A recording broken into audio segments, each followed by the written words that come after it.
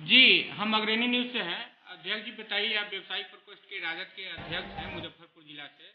पहले तो आप अपना परिचय दीजिए। अग्रणी चैनल से आए हुए रिपोर्टर श्री सीताराम जी, आपको व्यवसायिक प्रकोष्ठ राष्ट्रीय जनता दल में हार्दिक स्वागत है। मैं इंजीनियर शिवनंदन शाह, राष्ट्रीय जनता दल मुजफ्फरपुर ज़िले के व्यवसायिक प्रकोष्ठ के अध्यक्ष एवं मुजफ्फरपुर ज़िले के तैलिक साहू सभा के अध्यक्ष।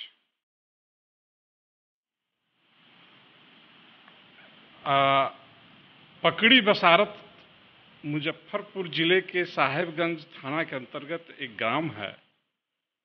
दिनांक 14 आठ 2020 को हमारे समाज, व्यवसायिक वर्ग के लोग शांति देवी को उसी गाँव के पकड़ी बसारत गाँव के एक अजय कुमार यादव जी ने उसे डाइन बताकर पेड़ में बांधकर पीटने का काम किया है। ये बिहार सरकार में अपराधियों की बढ़ती गतिविधियों का सबूत है। बिहार में पुलिस निकम्मे हो गई है, कहीं कुछ इसका चलता नहीं है। बिचारी कल शांति देवी यहाँ पर हमारे पास आई और केस के बारे में जानकारी दी।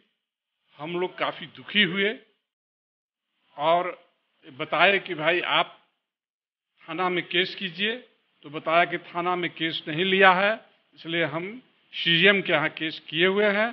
सीजीएम के यहाँ केस लॉकडाउन के वजह से अभी प्रभावी नहीं हुआ है, लेकिन हम लोग सोमवार को जाकर के न्यायालय में उसे इफ़ेक्टिव कराने का प्रयास करेंगे और उसको सही न्याय दिलाने का काम करेंगे तथा दोषी को सजा दिलाने का काम करेंगे।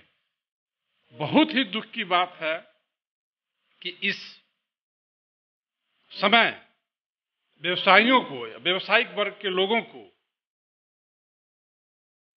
समाज के अन्य वर्गों द्वारा प्रताड़ित किया जा रहा है। अब व्यवसायिक वर्ग जाग चुका है, इसका बखूबी प्रतिरोध करेगा, अब अन्याय नहीं सहेगा, बल्कि अन्याय, ईट के जवाब पत्थर से देने का काम करेगा। अभियुक्त का नाम बताइए। अभियुक्त का नाम अजय कुमार यादव जो पकड़ी बसारत के ही हैं। उसका बैकग्राउंड क्या है कुछ जानते हैं पहले से भी वो मनबढ़े तरह के लोग रहे हैं। कई एक मामलों में वो नामदर्ज अभियुक्त भी हैं ऐसा हम मुझे बताया गया है। वहाँ के थाना प्रभारी से बातचीत हुई है क्या? थाना प्रभारी से बातचीत तो नहीं हो पाई है। उनके परिजन से मिलना चाहिएगा? हम मिलना चाहेंगे। कब का समय दे रहे हैं? समय हम सोमवार को देंगे। पूरे प्रकोष्ठ के लोग जाएँगे। प्रकोष्ठ के लोग हम लोग चलेंगे। सोमवार हाँ हम लोग किस दल है एक जो इस तरह के कार्यों को देखते हैं।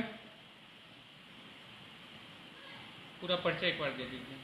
इंजीनियर शिवनंदन शाह राष्ट्रीय जनता दल व्यवसायिक प्रकोष्ठ मुजफ्फरपुर अध्यक्ष। धन्यवाद अध्यक्ष